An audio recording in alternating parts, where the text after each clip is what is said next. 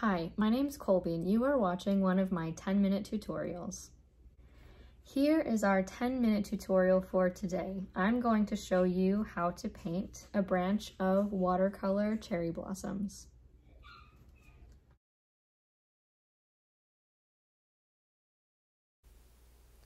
Welcome to another 10 minute tutorial. In this YouTube video, we are going to learn how to paint a branch of cherry blossoms. So this is the reference photo that I pulled up from Unsplash. Thank you, Anthony Delanoix, for sharing your photo with us. Um, so we're just going to use this reference photo as a base point for painting our branch of cherry blossoms. So it looks like there's a branch that comes out from the side of the painting and just a few bunches of blossoms with some buds as well. And this looks totally doable. So first, let's learn how to actually paint the blossom. So cherry blossoms are so beautiful because their colors are so delicate on the petals, right? You can, sometimes you can't even tell if they're pink or if they're white, and I love that about cherry blossoms. And watercolor is one of the best tools to really capture the light and capture the soft colors in those blossoms. And this video is going to show you how. So first, let's start by learning to paint the actual blossoms. So I'm just going to zoom in a little bit so you can see a little bit better. Okay, to paint these cherry blossoms, we're going to utilize watercolor's transparency and color to our advantage. So one thing about watercolor that I know is that when you add water to it, it makes the color lighter, right? So that's how you manipulate the lightness or darkness of a color with watercolor is by adding more water to it. So this is Winsor Red from Winsor & Newton, and when I added water to this swatch, notice how you get this really soft and delicate color and you can gradually move back to this red color. That is exactly what we're going to try to achieve with cherry blossoms. So first, start with some watery but also pigmented dots of red or dark pink, whatever. And then clean off your brush and form some petals from the center. So just use your paintbrush to move the paint around and we're going to make five of these petals.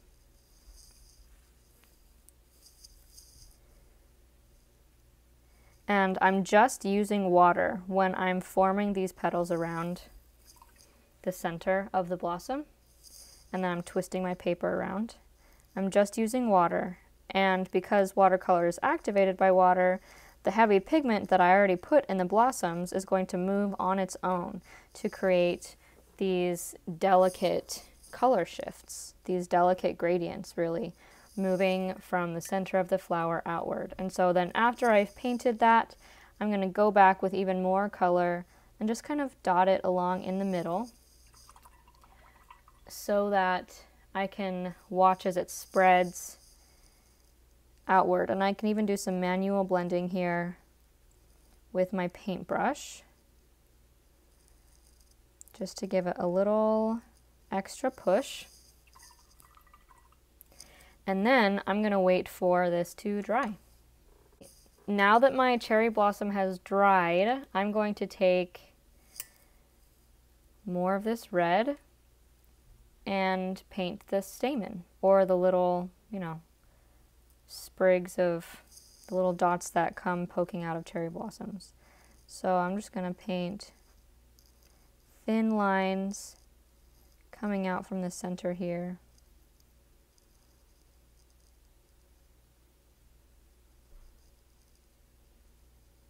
Sometimes cherry blossom stamen are yellow and sometimes they are red.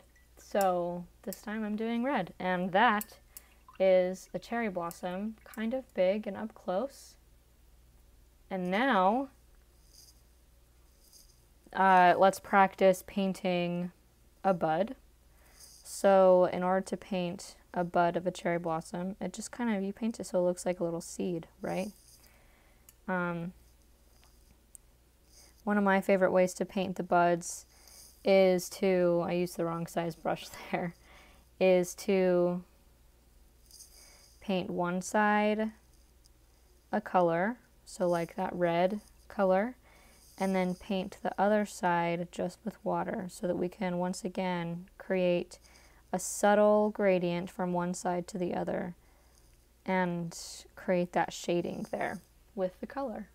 So that's how you paint a little bud on a tree.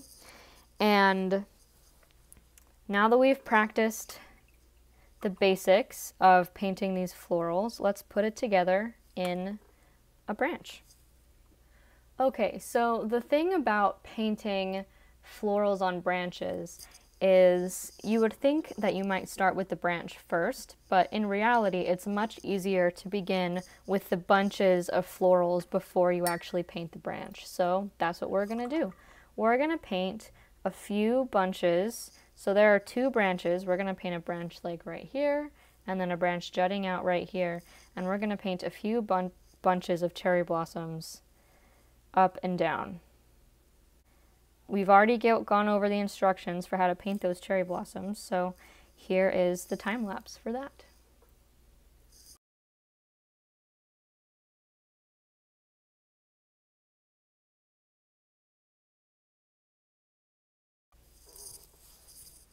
Okay, let's step out of the time lapse a little bit. Um, so we painted the little clusters of cherry blossoms. So I'm envisioning like a branch coming right here and then a branch jutting out over here.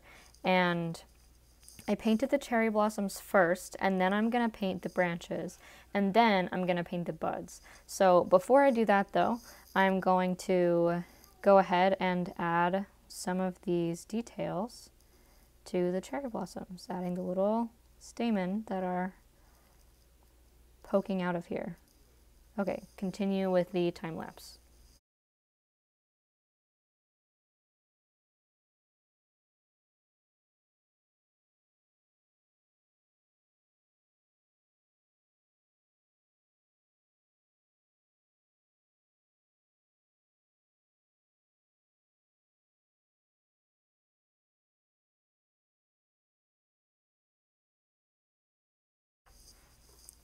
So the branch that's jutting out here is going to be pretty delicate. We're just going to paint in between these clusters.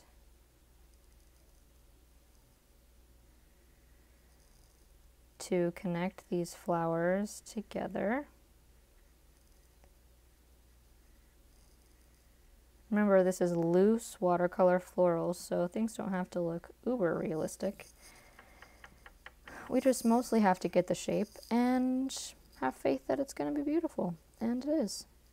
So, um, so we're going to paint this branch around the flowers.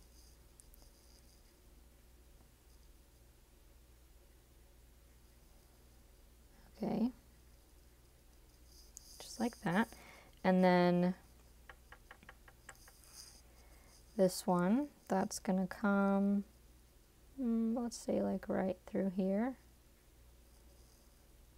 And poke out kind of like that.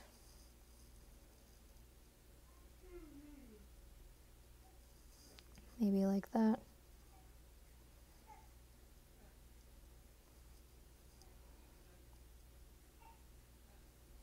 Maybe this is like part of a larger tree that's coming out this way.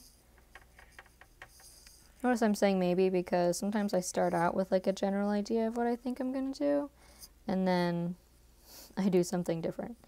And this is a very common occurrence for me. I kind of just fly by the seat of my pants all the time. So this is how I'm going to paint this branch. I'm going to leave a little bit of white space. I made this branch a little bit like wider right here and I'm going to leave some white space just to add some kind of jagged character to the wood because I think it looks cool. So, by the way, in case you're wondering why that's there. Um, so now that I've painted the general direction of the branches, I'm just going to add a little, a few little nubs to the branch, partly so I can add some buds to those nubs, and partly because I think they look cool. The thing about branches, when you paint the branches on, is you want to make sure, or at least try to the best of your ability, to make sure that they connect the, all the flowers onto the tree. So, I mean, this, again, this is loose watercolor, so it doesn't have to be super realistic, but it is nice when you can connect. So that's what I did just there. I noticed that this flower seemed to be kind of floating aimlessly, so I just made a little branch connecting it there. Um, now we're going to paint just a few buds on the tree.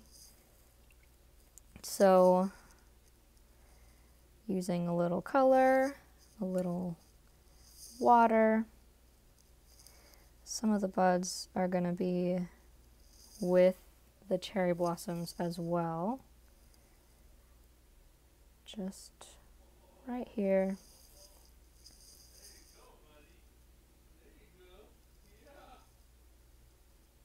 So you can also get that contrast of colors by adding dark after. So if you like paint with a really light aka watery red and then add some darker red pigment after, you can get some nice shading with that method as well.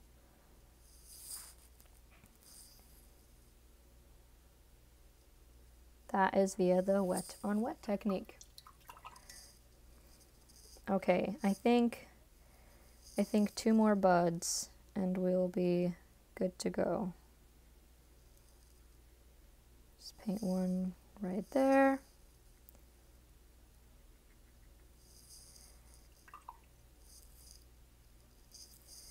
and one just here.